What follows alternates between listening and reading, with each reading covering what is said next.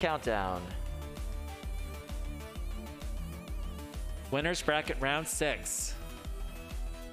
Eight, seven, six, five, four, three, two, one. Fight robots, fight! Weapons up to speed. Interesting. Polywog actually taking its time, doing a little dance around Starchild, trying to get a good angle. Starchild actually having a hard time tracking Polywog. Polywog moving so quickly around this box.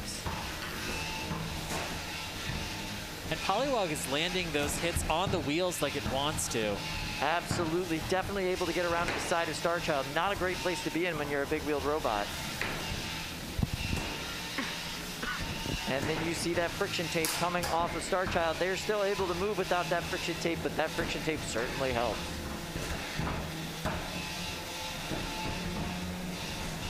Oh, Polywog is so fast that it doesn't even wait for, for Starchild to land a hit. And it's coming around and hitting those wheels time and time again. Yeah, it's like Starchild is punching where Polywog was instead of where Polywog is gonna be. Yeah, and uh, Whoa, 60 seconds nice to this big fight. hit there from Polywog. This is really Polywog's fight so far. Yeah, 100%. We've seen some dominant performances Ooh. from Starchild today, but right now... That's a good hit That was a on, good on the top of Polywog. Is it enough to matter?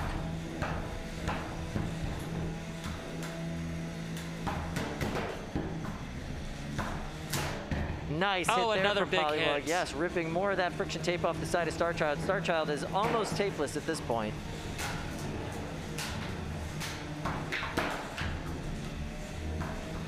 All right, coming down to one minute and 10 seconds left in this match. It looks like both weapons are still running, Kyle. Yeah, I think both weapons are fully functioning. The size difference between these bots is just staggering. I mean, with, with Starchild, Polywog really looks like it could be a one-pound robot in here. I may have spoken too soon. It looks like Starchild's spinner is down. Oh, And yeah, uh, of course, right. all, all of its grippy tape is gone as well. But uh, Polywog looks absolutely unfazed. Yeah, that spinner's definitely down on Starchild. They are just a thwack bot at this point.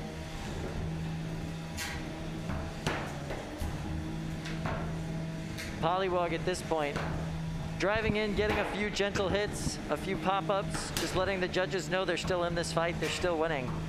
30 But they seconds seem to left. be really saving those big hits, perhaps for another fight.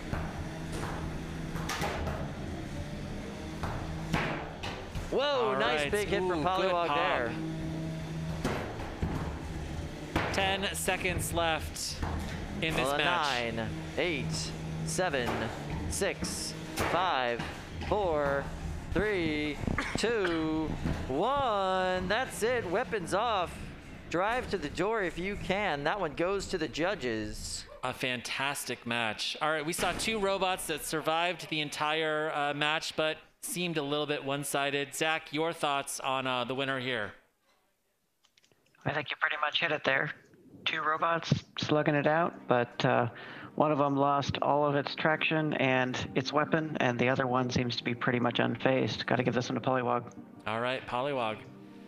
How about Yeah. you, Craig? Uh, it's all polywog the whole way through, so uh, polywog 100%. Polywog 100%. All right, Don, your thoughts? I also think Polywog. Uh, once uh, Starchild lost its weapon, whenever that may have happened, it lost any way of doing damage or getting any points. Um, yeah. All right, a unanimous judge's decision for Polywog, Yep. which advances to face Malice in the semifinals. Now, we are going to see